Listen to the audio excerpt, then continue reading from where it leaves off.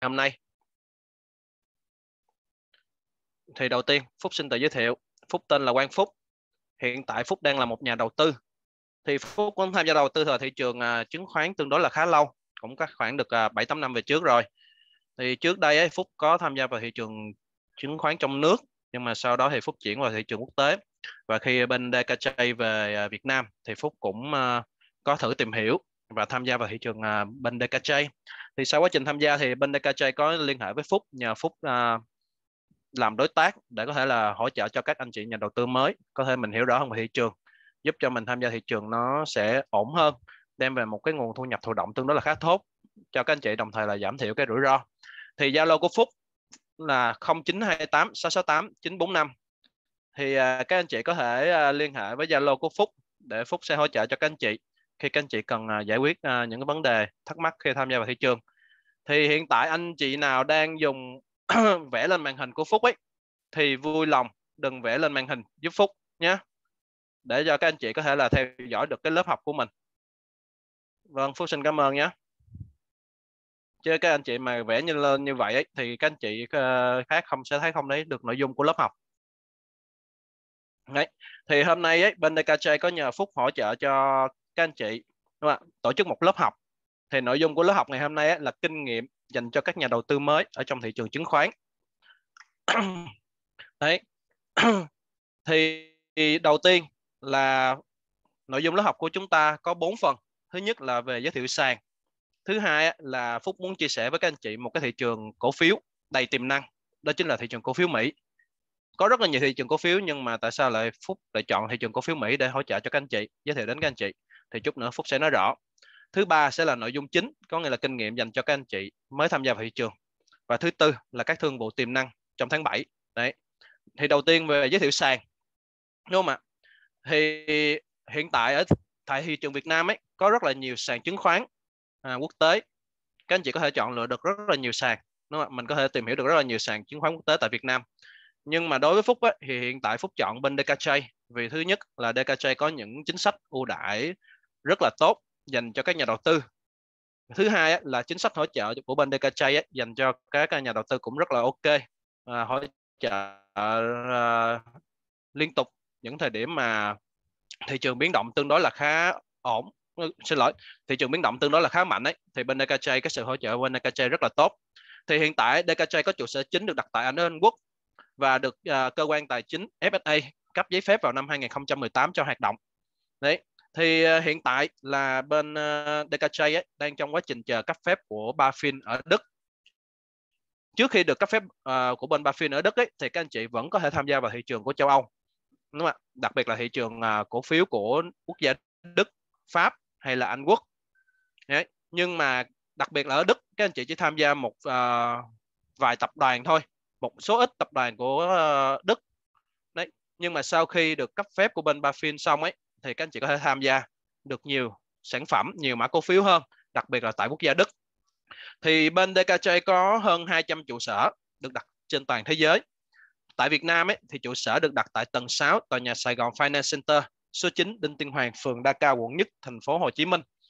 Nếu anh chị nào cần à, liên hệ với bên DKJ để mình à, có thể là à, gặp mặt trao đổi thì các anh chị có thể liên hệ với đến địa chỉ này để bên DKJ hỗ trợ cho mình thì bên tay trái các anh chị chính là giấy phép mà bên FFA cấp cho bên DKJ vào năm 2018 còn ở dưới phía dưới màn hình đúng không ạ?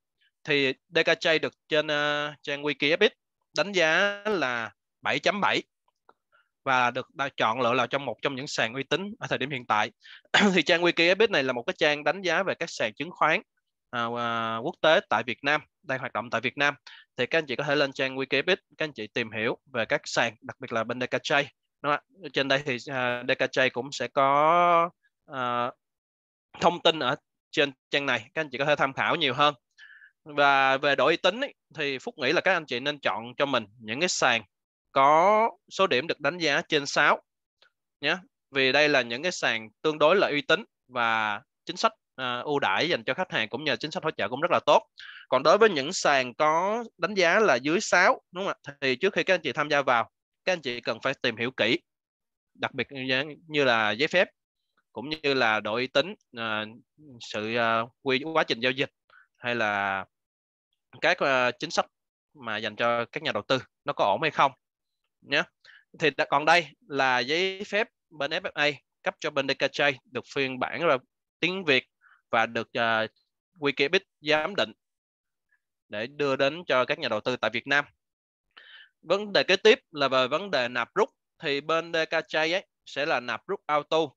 DKJ sẽ sử dụng cổng thanh toán ngân lượng.vn để nạp. Thì ngân lượng.vn ấy có giấy phép hoạt động của ngân hàng nhà nước Việt Nam và đảm bảo đầy đủ về mặt pháp lý khi các anh chị chuyển tiền. Thì ngân lượng.vn này à, nếu mà à, nói tới thì các anh chị có thể là sẽ biết, có thể là một vài anh chị không biết. Thì ngân lượng.vn được thành lập bởi Sắc Bình, một trong các sắc tăng của chương trình thương vụ bạc tỷ. Đấy, thì Sắc Bình lập ra cái ờ, công ty cổ phần ngân lượng này để thứ nhất là giúp cho các nhà đầu tư tại Việt Nam có thể quy đổi từ tiền Việt sang tiền đô đúng không ạ? Để mình tham gia vào thị trường quốc tế. Ngoài ra thì công ty cổ phần ngân lượng cũng có những cái hình thức thanh toán khác như là về điện nước hay là vé máy bay. Đấy các anh chị có thể tham khảo các anh chị có thể lên trang ờ, ngân lượng.vn để cái mình có thể tham khảo về à, công ty cổ phần ngân lượng này.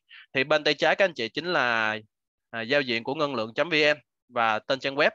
Phía dưới ấy, chính là chứng chỉ của ngân hàng nhà nước Việt Nam cấp cho bên à, ngân lượng để hoạt động. Thì một công ty cổ phần mà được nhà, ngân hàng nhà nước Việt Nam và được liên kết với tất cả các ngân hàng tại Việt Nam ấy thì đó là một công ty rất là an toàn và đảm bảo cho quá trình chuyển tiền của các anh chị. Nên các anh chị cứ yên tâm. Đấy và có các hình thức thanh toán khác bên DKJ đúng không ạ? Thứ nhất là ATM Internet Banking à, thẻ ngân hàng và ví điện tử. Thì khi nạp các anh chị có hai hình thức nạp. Thứ nhất là các anh chị lên trang web của bên DKJ các anh chị đăng nhập vào và các anh chị nạp đúng không ạ? Đây phúc nói như thế này. Đúng không ạ? Các anh chị có thể lên trang web của dkj.com đúng không ạ? Các anh chị đăng nhập vào đây sẽ có một nạp tiền và một rút tiền. Thì các anh chị có thể hoàn toàn là nạp rút trên trang web. Thứ hai là các anh chị sẽ nạp tiền bằng điện chuyển do các bạn support hỗ trợ cho mình. Có nghĩa là các anh chị có thể liên hệ với các bạn support, các anh chị dùng ngân hàng nào, các anh chị báo cho bạn support bạn support sẽ hỗ trợ cho mình điện chuyển của ngân hàng đó để giúp mình có thể là chuyển tiền trong nội bộ ngân hàng mà không cần phải chuyển tiền liên ngân hàng. Đó là về vấn đề nạp. Và các anh chị yên tâm về vấn đề nạp sẽ là hoàn toàn bằng auto nhé. Tiền sẽ được chuyển thẳng vào tài khoản của các anh chị khi các anh chị chuyển tiền qua cổng ngân lượng kế tiếp là vấn đề thanh toán tại DKJ thì khi rút tiền về tài khoản uh, ngân hàng của các anh chị ấy từ tài khoản giao dịch đúng không ạ? Thì các anh chị không cần phải mở tài khoản ngân lượng mà các anh chị sẽ rút thẳng từ tài khoản ngân uh, giao dịch của mình thẳng về tài khoản ngân hàng tại Việt Nam của các anh chị. Và thời gian rút tiền là từ 4 tới 24 tiếng nhé.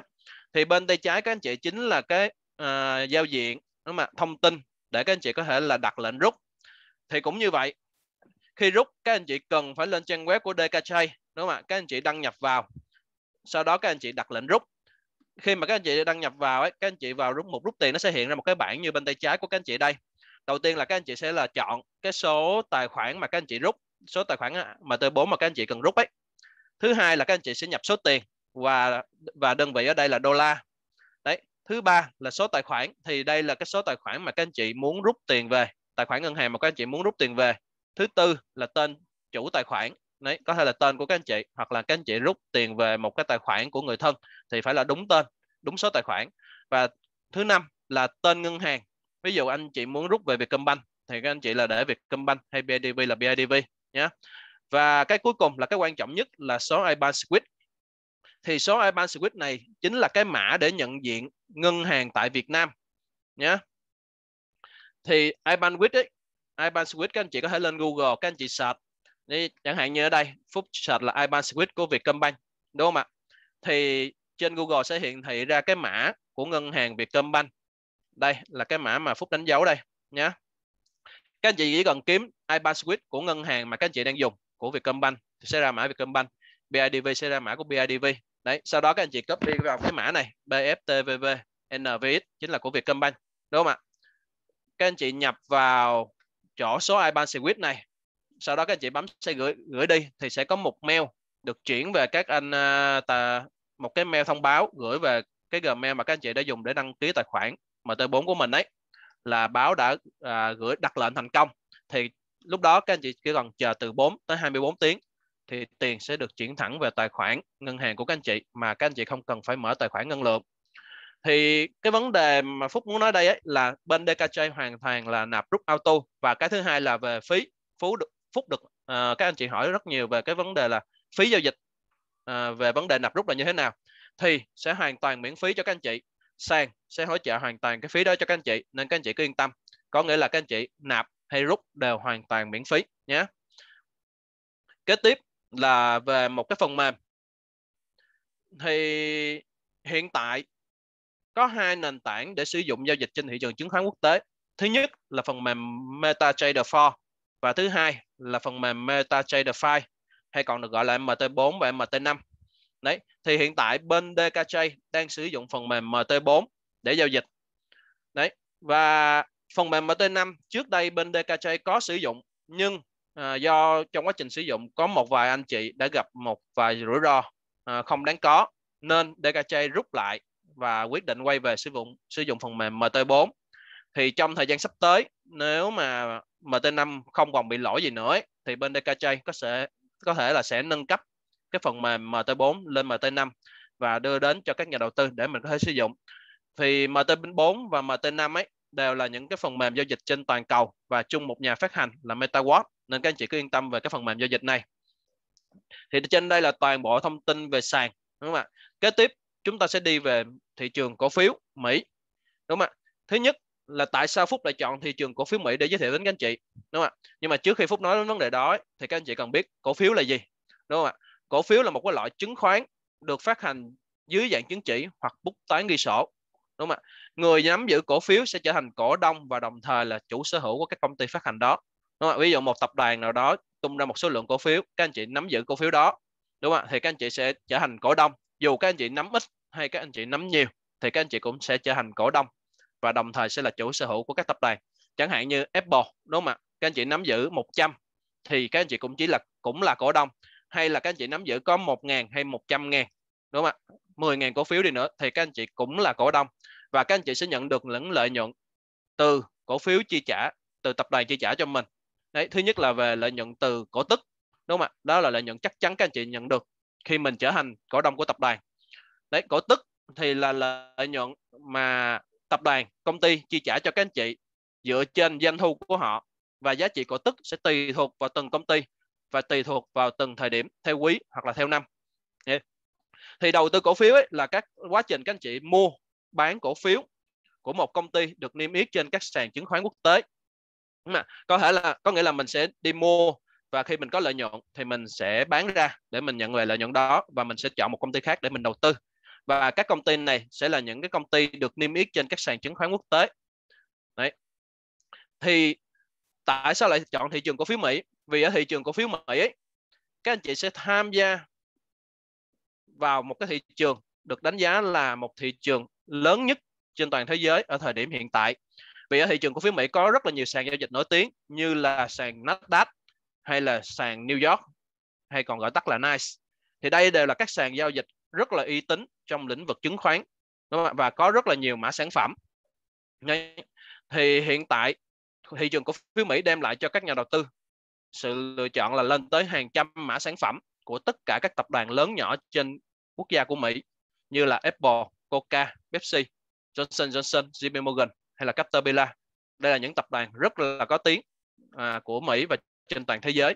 Đấy, thì nên khi tham gia thị trường cổ phiếu Mỹ thì các anh chị sẽ có nhiều sự lựa chọn về các mã sản phẩm phù hợp với số vốn của mình hơn là các anh chị sẽ tham gia vào thị trường của châu Âu đúng không ạ? Vì ở thị trường châu Âu anh chị sẽ chỉ đầu tư được một vài mã cổ phiếu thôi.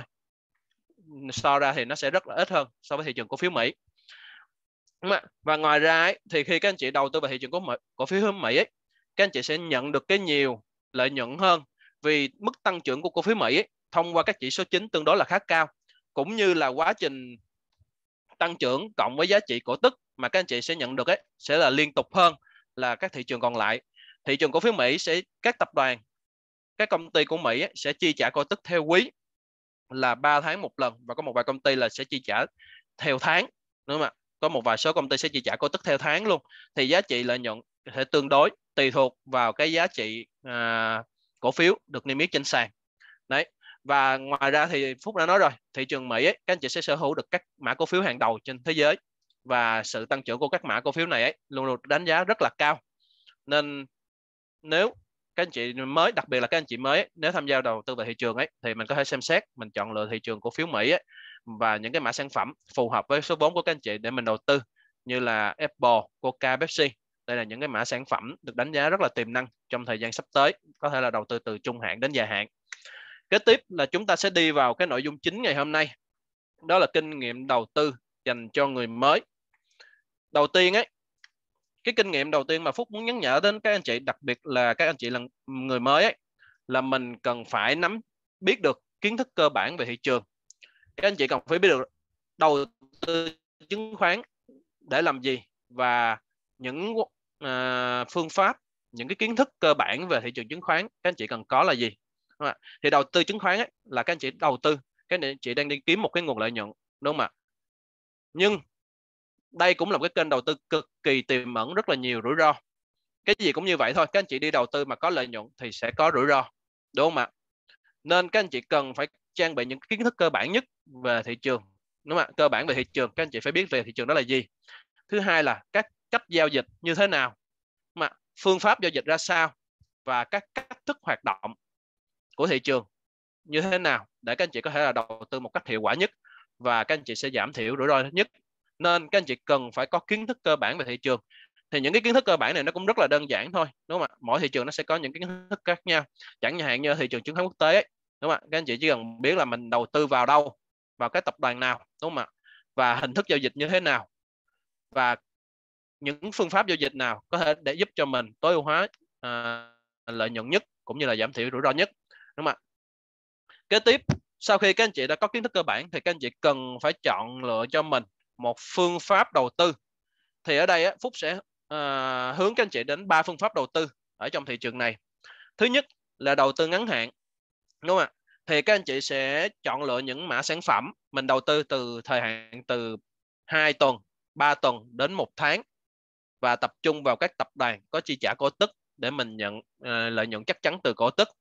Đấy, và sau đó thì khi có lợi nhuận xong thì các anh chị có thể chọn lựa một cái mã sản phẩm khác để mình đầu tư tiếp thì với số vốn tầm 20 000 25.000 đô trở lại ấy, thì các anh chị có thể đầu tư ngắn hạn được với nhiều mã sản phẩm nhé. Phương pháp thứ hai là đầu tư trung hạn, có nghĩa là thời gian đầu tư từ một tháng trở lên đến 6 tháng. Thì ở đây ấy, các anh chị sẽ tập trung vào à, một vài mã sản phẩm, đúng không ạ? Các anh chị sẽ nhận một phần là lợi nhuận từ cổ tức từ một quý tới hai quý. Ngoài ra thì các anh chị sẽ nhận được cái giá trị tăng trưởng từ giá trị cổ phiếu. Có nghĩa là các anh chị sẽ mua thấp và các anh chị đợi đến một à, tháng hoặc là 6 tháng sau, các anh chị nhận xong cổ tức, các anh chị có thể bán ra thời điểm đó và các anh chị chọn lựa một cái mã sản phẩm khác để mình đầu tư. Thì số vốn tầm từ 100 ngàn đổ lại thì các anh chị có thể là đầu tư ở mức trung hạn được. Và đầu tư ở mức dài hạn thì đây là một cái phương pháp đầu tư mà Phúc luôn luôn khuyến nghị các anh chị mình nên chọn lựa cái phương pháp đầu tư dài hạn này vì khi đầu tư dài hạn ấy, các anh chị sẽ nhận được một cái lợi nhuận tương đối là khá tốt và rủi ro mà các anh chị à, nhận được từ thị trường này đem lại gần như là bằng không. Vì khi các anh chị đầu tư dài hạn, các anh chị sẽ chọn lựa những cái mã cổ phiếu có giá trị tăng trưởng tốt, những tập đoàn, công ty có thương hiệu mà có bề dày lịch sử cũng như là hoạt động trong quá khứ và những hợp đồng tương lai. À, đặt ra và được đón chờ rất là nhiều từ nhà tiêu dùng đúng không ạ? Thì lúc đó mã cổ phiếu đó sẽ luôn luôn tăng trưởng. Mặc dù trong những cái phiên nhất định đúng không ạ? Có thể là phiên ngày hôm nay các anh chị giảm anh chị mua vào phiên ngày hôm sau nó vẫn giảm tiếp đúng không ạ? Hoặc là phiên một trong một tuần đó có thể là giảm nhưng sau những cái phiên giảm đó thì sẽ là những cái phiên tăng trưởng và sẽ tăng rất là mạnh. Và khi các anh chị đầu tư dài hạn ấy, thì Phúc có thể đảm bảo với một điều với các anh chị rằng là lợi nhuận các anh chị sẽ đạt được là 95% trở lên và rủi ro gần như là không có nhé, đối với hình thức đầu tư dài hạn. Vì khi đầu tư như vậy, lợi nhuận rất là tốt và vốn để mà các anh chị có thể đầu tư dài hạn được ấy, thì tầm 100 ngàn đô trở lên để giúp cho mình. Thứ nhất, các anh chị có thể chọn lựa cho mình được cả phương pháp đầu tư ngắn hạn, trung hạn và dài hạn, đúng không ạ? Và thứ hai là chúng ta sẽ tối ưu hóa được lợi nhuận cho mình từ các mã sản phẩm. Vì khi đó số vốn của anh chị lớn ấy, các anh chị sẽ có nhiều cơ hội để lựa chọn cho mình những cái mã sản phẩm phù hợp hơn hoặc là những mã sản phẩm mà các anh chị cảm thấy là lợi nhuận sẽ đem lại cho mình rất là tốt khi mình đầu tư ngắn hạn hoặc là trung hạn hoặc là dài hạn. Đấy thì tùy thuộc vào mỗi anh chị và tùy thuộc vào nguồn vốn khác nhau thì các anh chị có thể chọn lựa cho mình một cái phương pháp đầu tư phù hợp. Kế tiếp là tích tiểu thành đại đúng không ạ? Đây là một cái vấn đề mà um, phúc nghĩ là đặc biệt là các anh chị mới cần phải biết. Vì các anh chị đang là người mới bước vào thị trường đúng không ạ?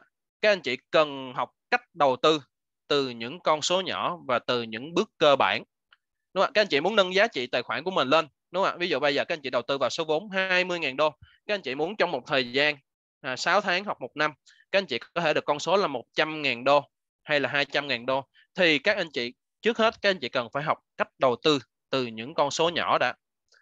Các anh chị không nên chọn lựa cách đầu tư mà ăn nhanh thắng nhanh có nghĩa là đánh tất tay. Các anh chị cảm thấy mã đó tăng trưởng tốt, các anh chị dồn toàn bộ số vốn của mình, các anh chị đầu tư vào một cái mã đó, thì phúc có thể đảm bảo với các anh chị là các anh chị càng như vậy ấy, thì sẽ xảy ra hai trường hợp. Một là các anh chị có lợi nhuận rất là tốt. Thứ hai là các anh chị sẽ mất trắng, nha. Đấy, thì với cái lựa chọn mà ăn nhanh thắng nhanh đó, thì xác suất rất là thấp còn đối với các anh chị nếu chọn lựa cho mình đầu tư từ những con số nhỏ các anh chị tích góp kinh nghiệm của mình sẽ có những thời điểm các anh chị thất bại đúng không ạ? Sẽ có những thời điểm các anh chị thành công. Nhưng mà từ những thất bại những thành công đó các anh chị sẽ biết được mình đang thiếu cái gì đúng không ạ? Thì các anh chị sẽ bổ sung vào những cái đó để giúp cho mình hoàn thiện kỹ năng cũng như là à, kiến thức về thị trường giúp cho mình ngày càng tối ưu hóa lợi nhuận cho mình và rủi ro sẽ giảm đi từ từ. Đấy thì với cái tích, tích tiểu thành đại ấy, sẽ giúp cho các anh chị được cái tính nhẫn nại cũng như là tính kiên trì rất là tốt. Có nghĩa là các anh chị sẽ luôn luôn chủ động trong công cái quá trình đầu tư của các anh chị mà các anh chị sẽ không có phải nhiều lo lắng đúng không ạ? Mình sẽ phân bổ ví dụ anh chị đầu tư một con số vốn là 100.000 đô đúng không ạ? Các anh chị sẽ phân bổ ra mình đầu tư những cái mã sản phẩm khác nhau với những giá trị khác nhau đúng không ạ?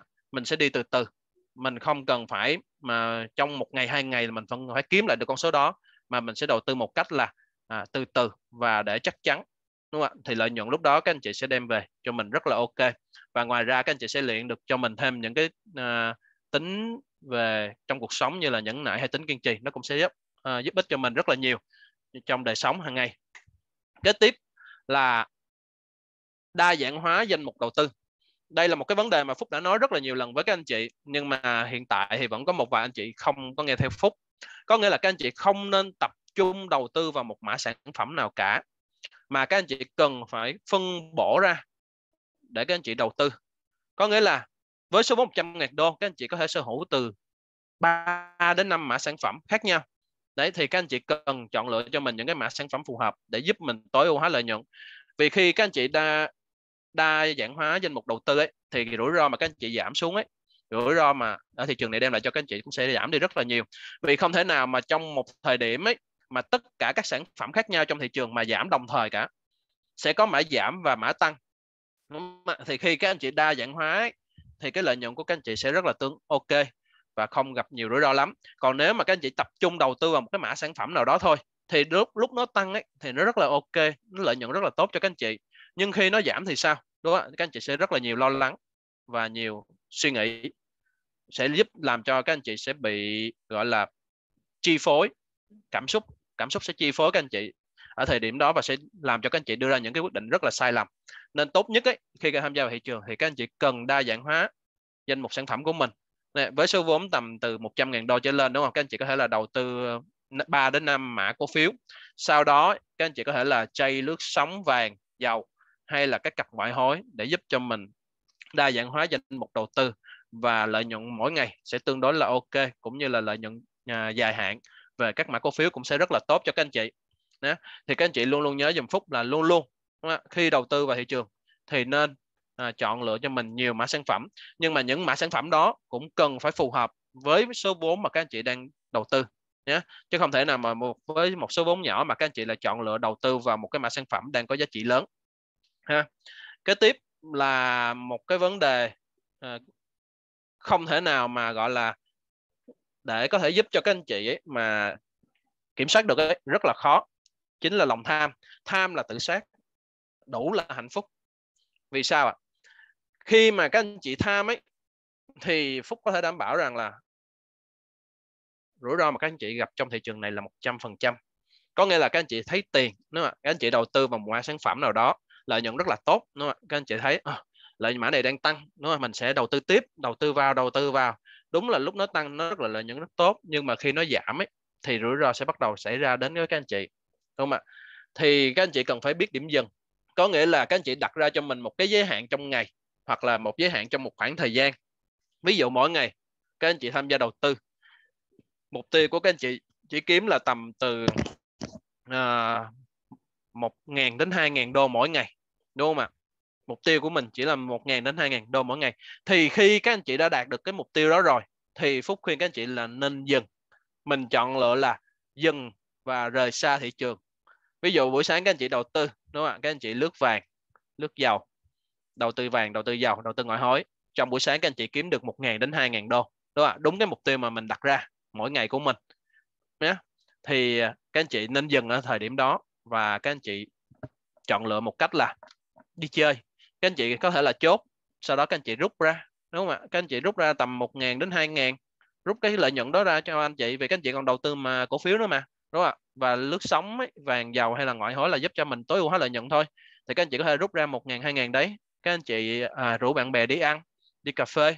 Có thể là trong mùa dịch này thì à, không thể đi đâu được đúng không ạ? Thì các anh chị có thể chọn lựa là à, mình rút ra mình để đó thôi. Mình không vào thị trường nữa mình không theo dõi thị trường không vào lệnh nữa đó mình dừng ngay chỗ đó. Tại vì mục tiêu là mỗi ngày chỉ đạt như đó thôi đúng không ạ? Thì lúc đó các anh chị chọn lựa cho mình một những cái giải trí khác. Có thể là à, ăn uống với gia đình hay là nghe nhạc coi phim gì đấy đọc báo. Để gọi là tinh thần của các anh chị luôn luôn thoải mái khi tham gia vào thị trường. Và các anh chị phải luôn luôn là không nên tham khi đầu tư vào thị trường này. Vì khi càng tham thì các anh chị sẽ càng gặp rủi ro. Hay còn có một câu nói khác chính là tham thì thâm nhé các anh chị phải luôn luôn nhớ câu này các anh chị càng tham thì các anh chị sẽ càng gặp rủi ro có nghĩa là các anh chị càng đánh càng có lợi nhuận các anh chị càng, khi đã vượt đủ cái mức đó rồi các anh chị lại tiếp tục thì lúc đó rủi ro sẽ bắt đầu đến với các anh chị ở thời điểm nào mà các anh chị sẽ không biết tới đấy thì lúc đó các anh chị không những không được gì cả mà các anh chị sẽ mất thêm đấy thì các anh chị cần phải kiểm soát được cái lòng tham của mình thì nếu mà các anh chị đã kiểm soát được cái lòng tham của mình đúng không ạ thì các anh chị sẽ thành công ở thị trường này. Nhưng mà phúc nói thật thì cái lòng tham này cũng rất là khó quản trị. Có thể là thời điểm này các anh chị sẽ quản trị được quản trị được ấy, nhưng mà sẽ có những thời điểm các anh chị không kiểm soát được đâu. Đấy, nhưng mà có thể là hạn chế đi. Có nghĩa là mình sẽ hạn chế đi từ từ nhé chứ không nhất thiết là ngay ngày hôm nay hay là ngay ngày mai mình sẽ làm được liền, mà mình sẽ hạn chế đi từ từ và mình rèn luyện nó từ từ, thì lúc đó các anh chị sẽ được gặp thành công ở thị trường này nhé kế tiếp là kế hoạch có nghĩa là khi các anh chị tham gia vào một thị trường nào, dù là thị trường bất động sản, thị trường chứng khoán, đúng không ạ? Thì các anh chị cần cần luôn luôn phải có một kế hoạch và chiến lược đầu tư. Thì kế hoạch và chiến lược đầu tư à, của các anh chị càng cụ thể thì các anh chị sẽ giảm được cái việc hành động theo cảm tính rất là nhiều. Cũng như là các anh chị sẽ gia tăng được với khả năng phản ứng với các biến động của thị trường, đúng không ạ? Thì kế hoạch và chiến lược cụ thể sẽ dựa trên cái phương pháp đầu tư mà các anh chị đặt ra cho bản thân mình chọn ra một cái phương pháp nào nhưng mà đầu tư dài hạn, trung hạn hay là ngắn hạn, đúng không ạ thì các anh chị cần phải tuân thủ đúng phương pháp đầu tư mà các anh chị đã chọn, đúng không ạ ví dụ các anh chị đầu tư vào một mã sản phẩm đầu tư dài hạn, nhưng mà các anh chị lại không tuân thủ, đúng không? dài hạn là từ 6 tháng trở lên đến một năm hoặc lâu hơn, đúng không? nhưng mà 3 tháng sau các anh chị sẽ có lợi nhuận các anh chị chốt vẫn được nhưng đến 3 tháng sau nữa có nghĩa là tổng 6 tháng thì lợi nhuận nó lại cao hơn. Lúc đó thì các anh chị sẽ bị một cái kiểm cảm xúc đó là tiếc nuối. Thì khi tiếc nuối đó sẽ làm cho các anh chị uh, quyết định những cái quyết định có sẽ có những quyết định sai lầm. Đúng không ạ? Các anh chị sẽ thấy tiếc nuối mã đó anh chị lại chọn mã đó đầu tư. Nhưng mà ở thời điểm đôi khi ở những thời điểm đó mã đó nó đang không tốt đúng không ạ? Sau đó có thể là giảm mặc dù phúc nói là ờ sẽ giảm sau đó sẽ tăng lại ấy, nhưng mà có thể đôi khi nó sẽ giảm vượt mức mà vốn của các anh chị phải chịu đựng. Đấy. Thì lúc đó sẽ là rủi ro của mình. Nên các anh chị luôn luôn phải nhớ dùm phúc là đã chọn lựa cho mình một phương pháp đầu tư nào rồi thì cần tuân thủ đúng phương pháp đầu tư đó. Có thể là các anh chị chọn cả ba phương pháp đầu tư thì những cái mã sản phẩm mà các anh chị chọn lựa phương pháp đầu tư đó thì phải thực hiện đúng và không nên làm trái phương pháp đầu tư mà các anh chị chọn vì khi làm trái thì sẽ các anh chị sẽ gặp rủi ro sẽ có một vài rủi ro xảy đến các anh chị trong quá trình các anh chị đầu tư. Đấy. Thì đây là những cái kinh nghiệm mà Phúc đã từng trải và Phúc muốn chia sẻ với các anh chị. Còn rất là nhiều những kinh nghiệm khác trong quá trình đầu tư. Đấy. Nhưng mà ở đây thì Phúc không thể nào chia sẻ hết được vì nếu mà dành có thể chia sẻ hết những cái tất cả kinh nghiệm đó có thể là chúng ta sẽ dành rất là nhiều.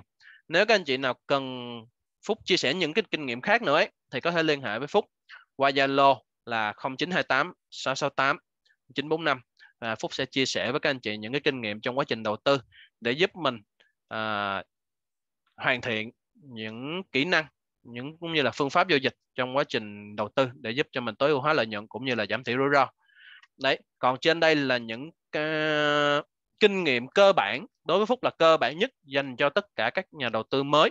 Đấy khi các anh chị tham gia thị trường thì các anh chị chỉ cần những cái cơ kiến thức cơ bản cũng như là những cái kinh nghiệm cơ bản như thế này là các anh chị sẽ à, tương đối là có lợi nhuận ở thị trường này và giảm thiểu rủi ro tương đối là khá tốt. Thì trước khi Phúc đi sang các thương vụ tiềm năng đấy thì Phúc sẽ dành một ít thời gian để giải đáp à, cho các anh chị đúng không ạ? Đấy à,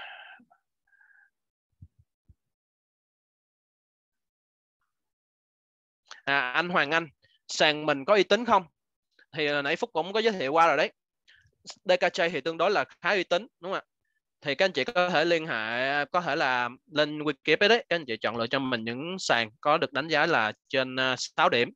Còn đối với DKJ thì hiện tại được đánh giá là trên 7 điểm ấy, thì tương đối là khá uy tín dành cho các nhà đầu tư. Và Phúc cũng chọn lựa DKJ về à, uy tín về cái độ uy tín cũng như là những cái chính sách mà DKJ dành cho các nhà đầu tư. Thì chị Minh Trang à, thì nãy Phúc cũng chia sẻ rồi sàn có trụ sở đặt tại Việt Nam. Số uh, tầng 6 tòa nhà Sài Gòn Finance Center nhé. Số 9 Đinh Tiên Hoàng phường Đa Cao quận nhất. Các anh chị có thể liên hệ với đây.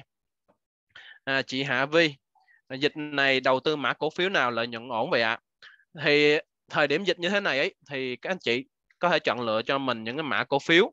Thứ nhất là về chi trả cổ tức đúng không ạ? Thứ hai ấy là những mã cổ phiếu được đánh giá là đầu tư dài hạn thì tùy thuộc vào số vốn của các anh chị để mình có thể chọn lựa cho mình được những mã cổ phiếu uh, phù hợp với số vốn để mình đầu tư. À, chị Bích Ngọc làm sao biết được mã nào tiềm năng mà mua khi đầu tư vậy ạ? À? à, để được biết để chọn lựa được một cái mã cổ phiếu tiềm năng ấy thì các anh chị có thể là um, tham khảo uh, các tin tức. Nhưng mà chẳng hạn như là các anh chị có thể lên trang à, uh, investing ở đây Phúc sẽ chỉ cho các anh chị các anh chị có thể lên trang investing nhé. Các anh chị kiếm, hoặc là các anh chị lên các trang tài chính quốc tế đấy, để mình chọn lựa mã cổ phiếu, tiềm năng cho các anh chị. Chẳng hạn như ở investing đấy, đúng không ạ? Thì các anh chị có thể là xem xét mình à, đổi, đầu tiên là mình sẽ đổi tiếng Việt nhé. Trang investing này sẽ là trang tài chính thế giới và cập nhật tin tức liên tục. Đấy, thì ở đây trang này sẽ có cập nhật tất cả các mã cổ phiếu trên toàn thế giới đúng không ạ thì để có thể là chọn lựa cho mình cái mã cổ phiếu uh, tiềm năng thì các anh chị nên chọn cho mình những cái tập đoàn có thương hiệu đúng không ạ? Như là Apple, Coca, Pepsi đúng không ạ? Những cái tập đoàn có thương hiệu trên toàn thế giới cũng như là thời gian hoạt động bề dày lịch sử và các hợp đồng trong quá khứ và trong tương lai. Đấy thì đó là những cái mã cổ phiếu tiềm năng và được đánh giá. Thì những mã cổ phiếu mà được nhắc nhiều nhất đúng không ạ? Thì chính là những mã cổ phiếu tương đối là tiềm năng nhé nội thất hữu bằng muốn mua cổ phiếu phải làm sao vậy anh? À, muốn mua cổ phiếu ấy thì anh cần à, một tài khoản trên phần mềm MT4 nhé thì với phần mềm MT4 ấy các anh chị có thể tải về bằng hai cách. Thứ nhất là các anh chị lên trang web DKJ đúng không ạ? Các anh chị vào phần nền tảng các anh chị chọn MT4 qua máy tính hoặc mobile. Thì đây là cái cách các anh chị tải phần mềm MT4 về à, cho trên máy tính đúng không ạ? Ở đây sẽ có tải xuống cho Mac là dòng MacBook của hệ bên tập đoàn Apple. Thứ hai là tải xuống cho PC là dành cho các ờ, máy tính, laptop sử dụng hệ điều hành Windows, đúng không ạ? Thì các anh chị sẽ tải xuống đây thì nó sẽ hiện ra cái giao diện như thế này. Đấy, thì các anh chị có thể là đăng nhập, đúng không ạ? Mình sẽ có hai cách đăng nhập. Thứ nhất là các anh chị đăng nhập vào ở đây, thì Phúc sẽ làm một cái video giới thiệu cho các anh chị về cách sử dụng MT4 trên máy tính và sẽ gửi đến các anh chị sau. Cách thứ hai là các anh chị sẽ tải phần mềm MT4 à, về bằng điện thoại có nghĩa là nếu các anh chị sử dụng bằng điện thoại iOS thì các anh chị lên uh, App Store cái thứ hai ấy, các anh chị sử dụng Android ấy, thì các anh chị lên CH Play các anh chị bấm chữ MT4 thì các anh chị tải phần mềm này về sau đó các anh chị nhờ bạn support hỗ trợ tạo cho mình một cái tài khoản giao dịch thì lúc đó các anh chị chỉ cần chuyển tiền vào tài khoản đó là các anh chị có thể mua cổ phiếu được rồi nhé nạp tiền có nhanh không vậy à, nạp tiền ấy thì các anh chị chỉ mất từ 15 đến 30 phút là tiền sẽ về tài khoản giao dịch của các anh chị thôi. Vào rút tiền thì các anh chị chỉ cần lên trang web đúng không ạ? Giống như phúc đã nói các anh chị đặt à, là đăng nhập vào đúng không ạ? Sau đó các anh chị à, đặt lệnh rút tiền trên trang web thì tiền sẽ về tài khoản giao à, tài từ tài khoản giao dịch chuyển về tài khoản ngân hàng của các anh chị từ 4 tới 24 tiếng nhé là tiền sẽ về tài khoản ngân hàng của mình. Vào vốn hay rút tiền có mất phí không? Thì hồi nãy Phúc cũng chia sẻ rồi vào vốn hay rút tiền thì hoàn toàn miễn phí. Sàn sẽ chịu trách nhiệm cái phí đó cho mình. À anh Hùng Đỏ đây một câu hỏi là khá là hay đây. Sàn sập có ảnh hưởng vốn mình không hay mất trắng? Vâng. Các anh chị cứ yên tâm nhé. DKJ có ký hợp đồng à, với ngân hàng bạc lây của à, Anh Quốc. Đấy, nếu sàn có vấn đề gì thì ngân hàng này sẽ chịu trách nhiệm hỗ trợ lại số vốn cho các anh chị đã đầu tư vào thị trường tùy thuộc vào số vốn của mỗi anh chị sẽ được hỗ trợ những cái mức khác nhau nhé thì cái này anh có thể là liên hệ với Phúc, inbox riêng cho Phúc. Phúc sẽ hỗ trợ kỹ hơn vì cái vấn đề này nói rất là nhiều. Đấy, nếu mà Phúc nói ở đây thì nó sẽ rất là mất thời gian của các anh chị khác. Tham gia tối thiểu bao nhiêu thì được. À ở thị trường này ấy, không có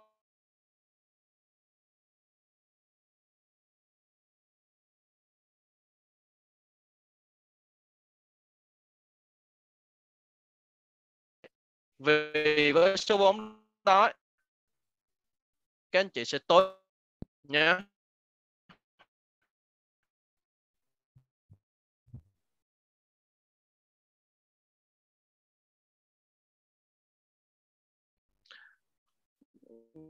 ngoài ra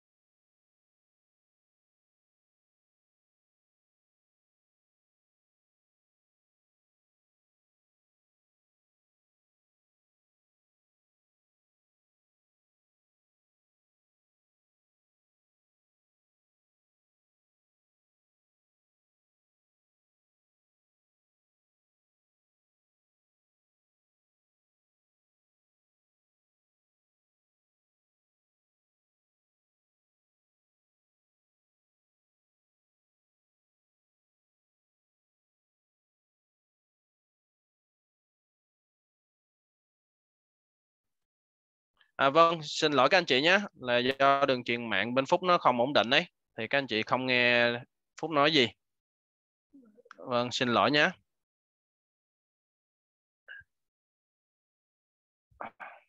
Vâng, Phúc xin được uh, trả lời thêm một vài câu hỏi của các anh chị ha. À đây, anh Đức Hải. Khoan nhé, Phúc, à, Phúc xin hỏi thanh khoản bao lâu vâng phúc nói rồi thanh khoản rất là nhanh t cộng không hai anh ha. Thanh khoản ấy thì uh, anh chỉ mất từ 0,15 giây tới một giây sau khi anh chốt lệnh thì tiền sẽ về tài khoản giao dịch của anh. Và anh chỉ mất từ 4 đến 24 tiếng sau khi anh đặt lệnh rút thì tiền sẽ về tài khoản ngân hàng của mình. Nhanh hỏi anh nội thất hữu bằng. Nhé xem thông tin chi cổ tức ở đâu vậy anh? À để xem thông tin chi cổ tức ấy phúc sẽ chút nữa phúc nói về các thương vụ phúc sẽ chia sẻ luôn cho các anh chị để có thể là các anh chị hình dung giao dịch cổ phiếu có khó không? Anh võ sơn à, giao dịch cổ phiếu không khó anh mình chỉ có cần à, chọn thời điểm mình mua. Sau khi có lợi nhuận thì mình bán. Nếu đối với những cái mã sản phẩm nào anh đầu tư để nhận cổ tức ấy thì sau khi có lợi nhuận cổ tức thì có thể là anh xem xét. Nếu lúc đó anh có lợi nhuận về sự tăng trưởng giá thì mình có thể là mình chốt mình bán ra luôn. Còn không thì mình có thể chọn lựa phương pháp đầu tư là từ trung hạn đến dài hạn để mình đầu tư. Nhé à, anh Đức Hải thì nãy Phúc nói làm sao để xác định được một thương vụ tiềm năng. Đúng không ạ? Một thương vụ tiềm năng là tùy thuộc vào mã sản phẩm đó mã sản phẩm mà anh chọn đúng không ạ? Chẳng hạn bây giờ anh chọn một à, mã sản phẩm như là Volkswagen đúng không ạ? Một tập đoàn chuyên sản xuất xe của Đức xe hơi của Đức đó. họ sẽ chi trả cổ tức vào ngày 23 tháng 7 có nghĩa chỉ còn hai phiên nữa thôi hôm nay là 21 rồi với mức cổ tức là 5,76 đô cho một cổ phiếu đúng không ạ? Và cộng với sự tăng trưởng giá thì nếu anh chọn lựa những cái mã cổ phiếu chi trả cổ tức thì những mã cổ phiếu có chi trả cổ tức cao chính là những cái thương vụ tiềm năng cộng với thương hiệu mà anh đang chọn lựa cho mình. Ví dụ Volkswagen là một trong những thương hiệu hàng đầu thế giới và ai cũng biết tới thì đó được đánh giá là một thương vụ tiềm năng. Cộng cũng như là trong tương lai thì tập đoàn này sẽ có những uh, gọi là những cái hoạt động đã được à, đề xuất ra và đang trong quá trình hoàn thiện nó. Đấy. anh Hoàng Anh vốn 20.000 đô anh đầu tư dài hạn được không? Thì vốn 20.000 đô thì anh um, vẫn đầu tư dài hạn được nhưng nó sẽ rất là khó cho mình. Vì có có thời điểm ấy anh, anh sẽ chọn cái mã cổ phiếu ấy nó sẽ tương đối là khó cho mình. Vì để đầu tư dài hạn thì anh cần một số vốn tương đối là khá cao để mình có thể là chọn lựa những cái mã cổ phiếu phù hợp cộng với vốn 20.000 đô thì anh đầu tư uh, dài hạn vẫn được nhưng mà số lượng cổ phiếu thứ nhất là số lượng cổ phiếu anh nắm giữ ấy không cao. Đấy và thứ hai là để anh chọn được mấy mã sản phẩm mà phù hợp ấy, nó cũng rất là khó. Nè. Dài hạn thì mua bao nhiêu cổ phiếu với vốn 50.000 đô? Thì với vốn 50.000 đô ấy các anh chị đầu tư dài hạn ấy, các anh chị chỉ mua được tầm từ 500 đến 1.000 cổ phiếu thôi. Các anh chị không thể nào mua nhiều hơn được. Vì đầu tư dài hạn ấy là một cái quá trình mà các anh chị chờ có thể là mua ở thời điểm này nó cao có thể là nó sẽ xuống vài phiên. Sau đó là một khoảng thời gian từ 6 tháng đến một năm ấy nó sẽ tăng rất là mạnh. Thì lúc đó các anh chị mới có lợi nhuận. Thì trong quá trình mà nó đi xuống ấy nó biến động xuống ấy thì các anh chị cần phải chịu được biến động thị trường tương đối là khá tốt. Thì lúc đó mình mới có thể đầu tư dài hạn được. Cũng như là trong quá trình đó thì các anh chị còn có thể là chọn lựa cho mình những cái mã cổ phiếu khác. Nên với số vốn tầm 50.000 đô ấy, thì các anh chị chỉ sở hữu tầm khoảng từ 500 đến 1.000 cổ phiếu. Của một vài mã cổ phiếu thôi.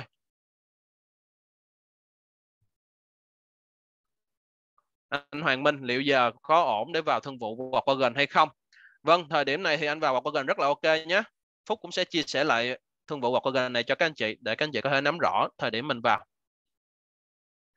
À, vâng, em cảm ơn chị Hoàng Thêm ha. Mở cửa phiên mới nhận được cổ tức. À, các anh chị nhớ nhé, các anh chị chỉ cần thứ nhất là các anh chị nắm giữ cổ phiếu trước ngày chia cổ tức, ví dụ ngày 23 tháng 7 chia cổ tức đúng không ạ? Các anh chị chỉ cần nắm giữ vào ngày 22 tới tháng 7 là các anh chị sẽ nhận được cổ tức. Và các anh chị sẽ nhận cổ tức vào lúc 7 giờ sáng đến 8 giờ sáng ngày thông báo chia cổ tức. Chẳng hạn 23 tháng 7 ấy, thì là từ 7 giờ đến 8 giờ có thể là trễ nhất là 9 giờ các anh chị sẽ nhận được cổ tức trong cái tài khoản giao dịch của mình. Chứ không nhất thiết là vào phiên mới được nhận nhé.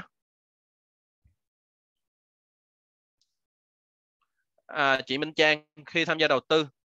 Khi các anh chị tham gia đầu tư ấy thứ nhất là các anh chị sẽ nhận được à, hỗ trợ từ chuyên gia kỹ thuật của sàn.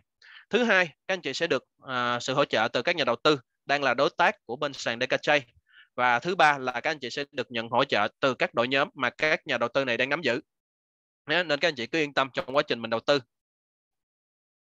Test thử thị trường với à, 10.000 đô thì cũng rất là ok. Ha chị ha đây là con số tương đối là ổn để mình có thể test thử thị trường, vì để mình có thể là đa dạng hóa những cái danh mục trong quá trình đầu tư, cũng như là mình sẽ chọn lựa nhiều những cái mã sản phẩm để mình đầu tư. Đấy, thì không còn câu hỏi nào thì phúc cũng xin phép được bắt đầu vào các thương vụ tiềm năng. Thì đầu tiên ấy là thương vụ chia cổ tức của Volkswagen đúng không ạ? Nãy phúc đã chia sẻ rồi. Thì Volkswagen hiện tại đang là một tập đoàn ô tô đa quốc gia của Đức, có tuổi đời hơn 90 năm và hiện tại đang là một trong năm tập đoàn lớn nhất trên thế giới với các thương hiệu con cực kỳ nổi tiếng đúng không? như là Audi này, Lamborghini, Porsche hay là Bentley. Nếu nói đến những cái thương vụ này ấy, thì Phúc nghĩ là không ai mà không biết tới cả đấy và Volkswagen cũng là một tập đoàn tương đối là khá nổi tiếng và tại Việt Nam tại thị trường Việt Nam cũng có những xe rất là sang của ờ, hãng Volkswagen này đang được uh, sử dụng tại thị trường Việt Nam đấy thì Volkswagen ấy tên chính thức là Volkswagen lĩnh vực kinh doanh là sản xuất xe hơi và mã niêm yết à, trên sàn đúng không ạ? Là VOVKG gạch B. Còn mã niêm yết trong phần mềm MT4 ấy là VOVKDE các anh chị có thể là xem xét mình à, kiếm cái mã này. Thì giá niêm yết hiện tại là 201.28 euro cho một cổ phiếu được Phúc cập nhật vào ngày 20 tháng 7 năm 2021 thì cổ tức sẽ chi trả là 4,86 euro cho một cổ phiếu vào ngày 23 tháng 7 có nghĩa là quy đổi ra tương đương là tầm khoảng 5,76 đô. Nếu các anh chị nắm giữ 1.000 cổ phiếu thì chắc chắn 100% vào ngày 23 tháng 7 là các anh chị sẽ nhận được là 5.760 đô. Đúng không ạ? Thì trước hết là về cổ tức thì các anh chị có thể thấy là tập đoàn này chi trả cổ tức theo quý à, xin lỗi theo năm một năm một lần đúng không ạ vào tháng 1 à, vào ngày 1 tháng 10 năm 2020 thì tập đoàn này chi trả à, mức cổ tức là 4.86 euro. Và đến à, tháng năm nay là vào ngày 23 tháng 7 tập đoàn này sẽ chi trả cũng là 4,86 euro. Đấy thì các anh chị có thể thấy là một năm họ chi trả một lần. Và kể từ năm à, 2019 đúng không ạ? Thì tập đoàn này quyết định chi trả mức cổ tức cao hơn. Mức cổ tức mà họ chi trả vào năm 2018 là gần 1 euro đúng không ạ? Có nghĩa là nâng giá trị cổ tức lên rất là cao cho các nhà đầu tư. Đấy thứ hai là về à, kế tiếp là về doanh thu. Thì các anh chị có thể thấy à doanh thu của tập đoàn này luôn luôn vượt trên mức dự báo. Đúng không ạ? Chẳng hạn như vào tháng 3 năm 2021 dự báo của tập đoàn chỉ đạt ở vùng tầm khoảng 6 trên 60 tỷ tầm khoảng 61 tỷ. Nhưng doanh thu của họ đạt mức là 63 đến 65 tỷ có nghĩa là vượt cái mức dự báo của họ rất là nhiều. Đấy. Và các anh chị có thể nhìn về những tháng, những kỳ trước, đúng không ạ? Như là tháng 12 năm 2020 thì là mức dự báo cũng với doanh thu là gần bằng nhau. Đấy. Và tháng 9 thì là cũng vậy, doanh thu vượt trên mức dự báo. Đấy. Thì có thể thấy là doanh thu theo từng đợt của họ cũng rất là cao, mặc dù thời điểm dịch bệnh như thế này. Đấy. Nhưng mà trong thời gian sắp tới, khi thị trường ổn định lại khi khi cái nền kinh tế mà ổn định lại sẽ kích thích cái nhu cầu đi lại rất là nhiều có nghĩa là dịch được áp chế đi thì nền thì kinh tế sẽ phục hồi. Và khi nền kinh tế phục hồi thì cái nhu cầu đi lại của người dân ấy cũng sẽ rất là nhiều. Và số lượng à, xe hơi sẽ được bán ra càng nhiều hơn. Và đồng thời ấy, trong à, những năm sắp tới thì bên Volkswagen cũng đang à, có một à, kế hoạch là sản xuất xe ô tô điện. Thì khi kế hoạch này được tung ra thì giá trị cổ phiếu của tập đoàn này cũng tăng rất là mạnh. Và đây là cái thời điểm mà các anh chị có thể nắm giữ nhé vì hiện tại là họ đang xây dựng 6 nhà máy sản xuất xe ô tô điện và khi hoàn thành và họ bắt đầu cho ra cái sản phẩm của mình ấy thì lúc đó sẽ được uh, các nhà tiêu dùng đón chờ rất là nhiều. Vì khi sử dụng uh, xe hơi điện ấy sẽ à, làm cho môi trường mình nó sẽ tốt hơn và kho giảm đi cái tác hại là ô nhiễm môi trường.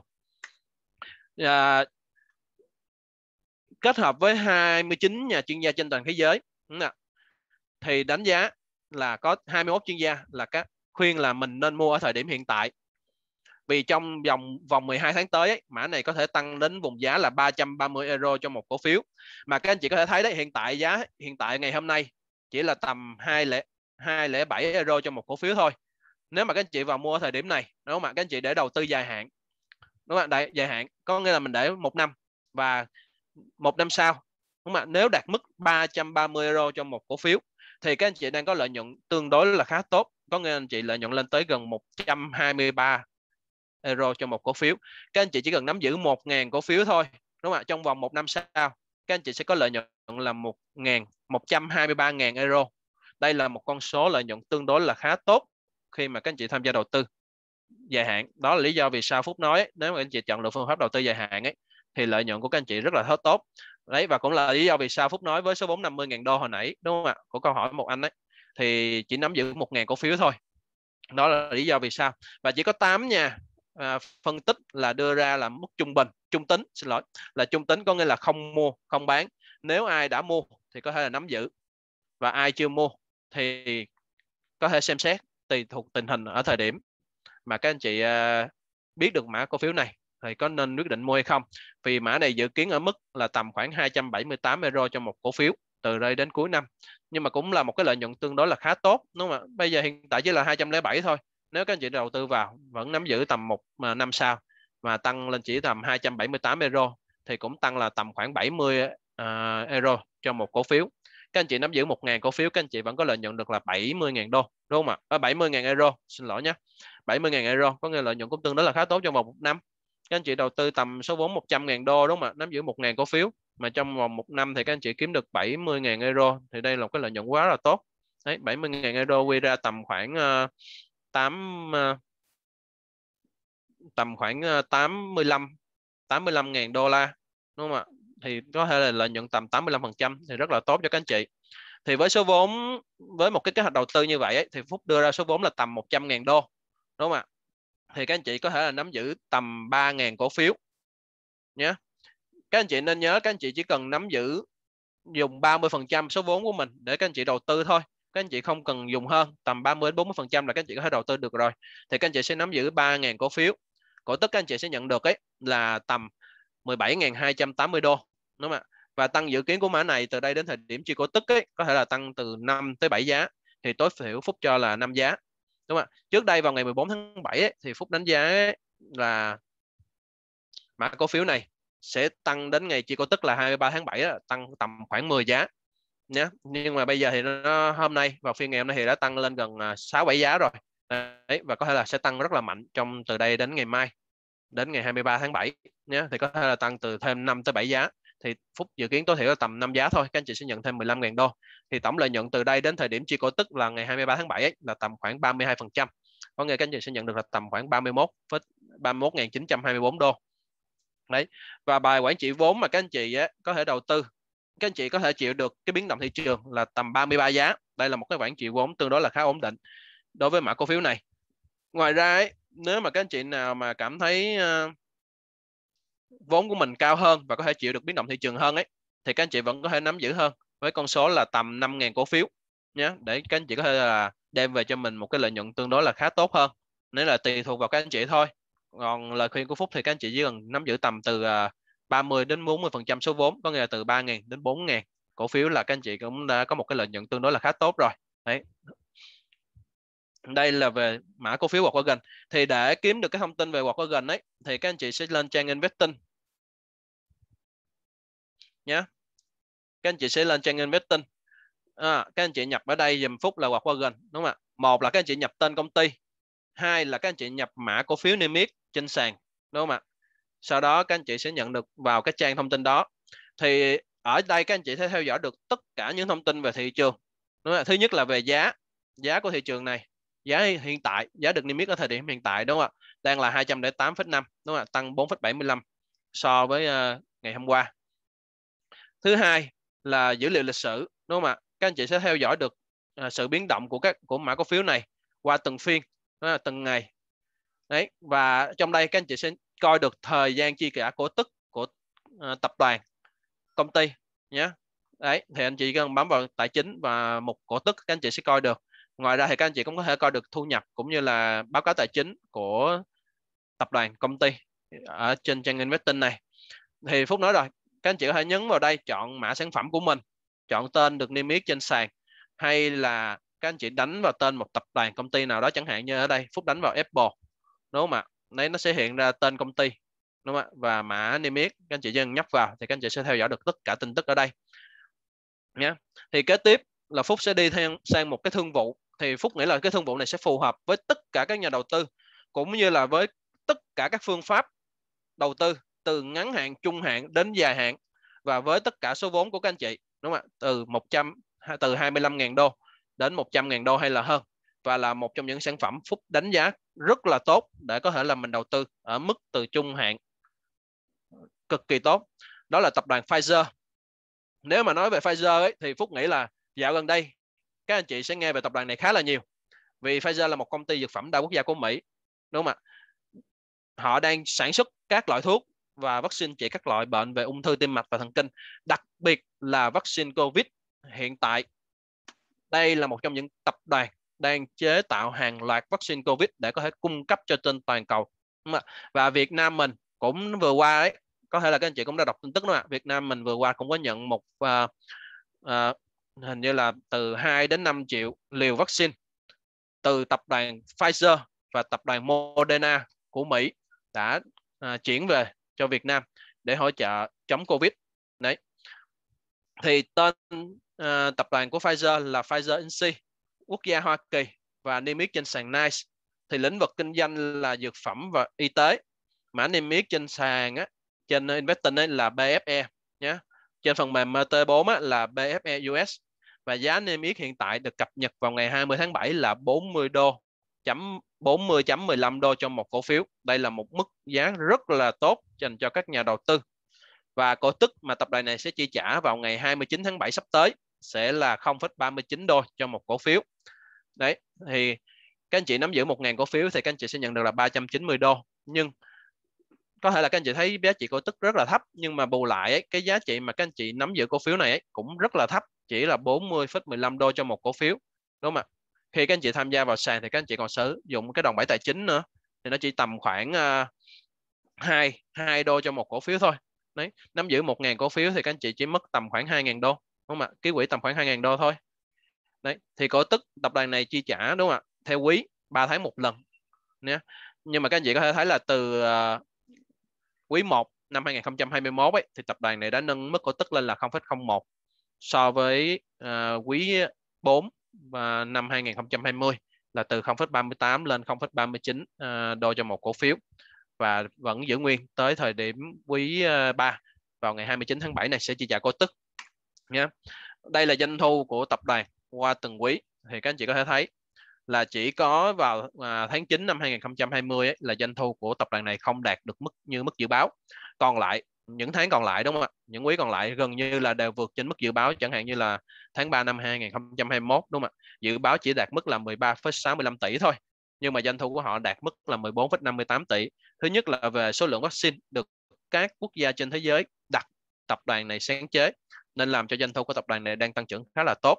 Và dự kiến trong thời gian sắp tới ấy, đặc biệt là trong năm 2021 này thì tập đoàn này sẽ chế ra hàng trăm triệu liều để có thể là cung cấp cho tất cả các quốc gia mà đã đặt hàng bên tập đoàn này để có thể là ngăn ngừa uh, Covid à, 19 đấy thì giá trị tập đoàn dự kiến sẽ tăng trưởng khá là mạnh trong thời gian sắp tới. Đúng không ạ? Về đánh giá cái bản ước tính đồng thuận đúng không ạ? Gồm có 22 nhà phân tích thì hiện tại chỉ có một nhà phân tích là khuyên bán đúng không ạ? Nhưng có 7 nhà phân tích là khuyên mua vì giá trị cổ phiếu kỳ vọng có thể đạt mức là 53 đô cho một cổ phiếu. Và tới 14 nhà phân tích đấy là trung tính có nghĩa là không nên mua và cũng không nên bán. Có nghĩa là nắm giữ thì cứ nắm giữ tiếp tục để đầu tư. Vì mục tiêu dài hạn của mã này trong thời gian sắp tới ấy, sẽ là 43,37 đối với 14 nhà phân tích này.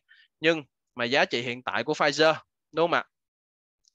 Giá trị hiện tại của Pfizer hiện tại đang nằm ở vùng giá là 41 đúng không ạ? Trên investing là 40 thì Phúc xin lỗi nha. Trên investing đúng không ạ?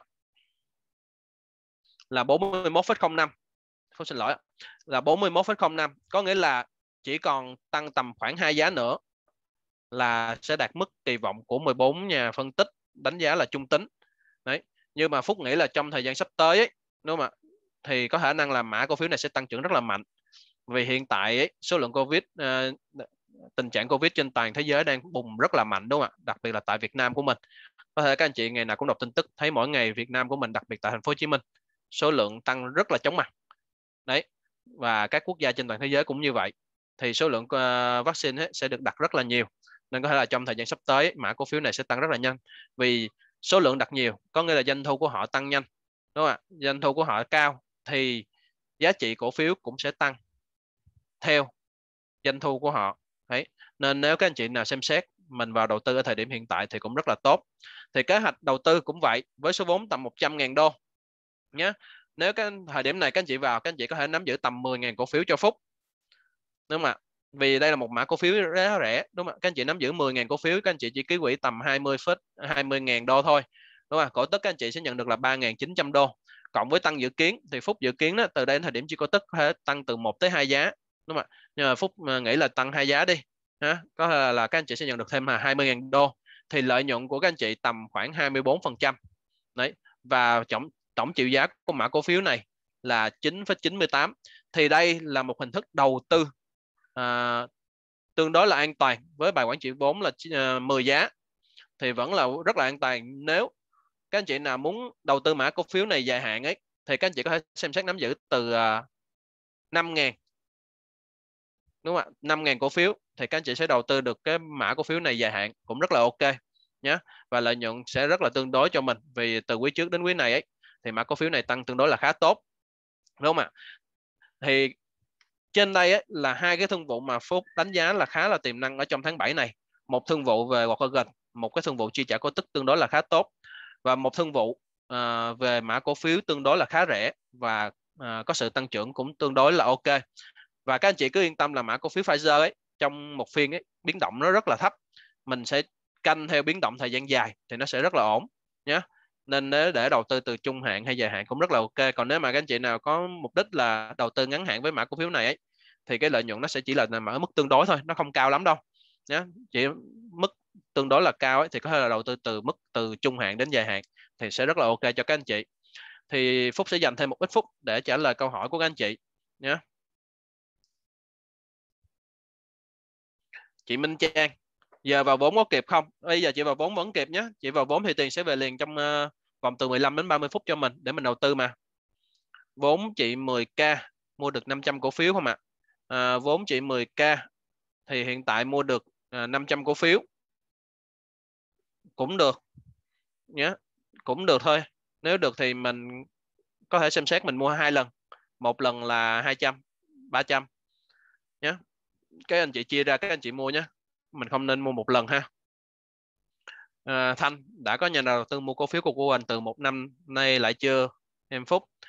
À, nhà đầu tư mà mua cổ phiếu của cô gần ấy từ một năm nay trở lại ấy thì đã có rồi. Và em cũng là một nhà đầu tư đã mua cổ phiếu của gần này. Nhưng mà đợt vừa rồi thì em cũng đã bán và em đang tái đầu tư lại. Vì lợi nhuận của tôi của em tương đối là khá tốt. Nếu mà em để nữa thì nó cao quá. Em cũng không uh, gọi là em đã đạt đến mức là đỉnh của mã cổ phiếu này, sau đó em bán lại. Thì khi mà quay về vùng giá 200 euro thì em đã mua lại rồi. Và em đang nắm giữ tầm khoảng à, 5.000 cổ phiếu của mã này. Đấy. Ký quỹ được sàn, phần trăm ký quỹ được sàn hỗ trợ trong thời gian bao lâu? Cái phần trăm ký quỹ này ấy thì sẽ được hỗ trợ trong suốt quá trình các anh chị giao dịch tại sàn nhé. Không có thời gian ha. Có nghĩa là được sàn hỗ trợ cho mình hoàn toàn và không có thời gian.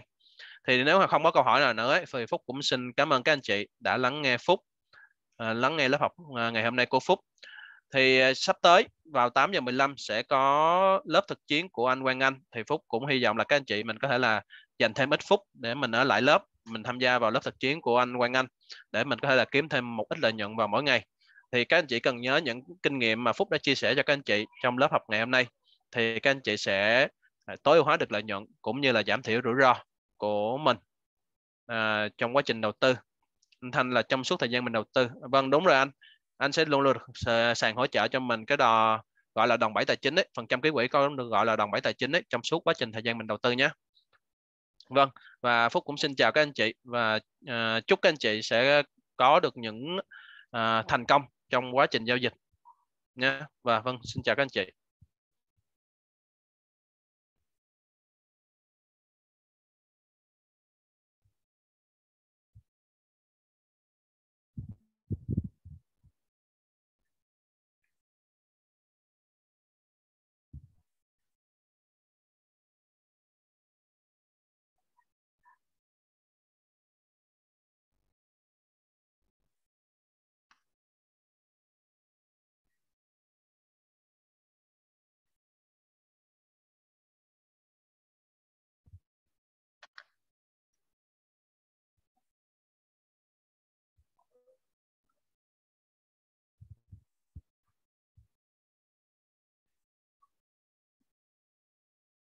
À, anh quý.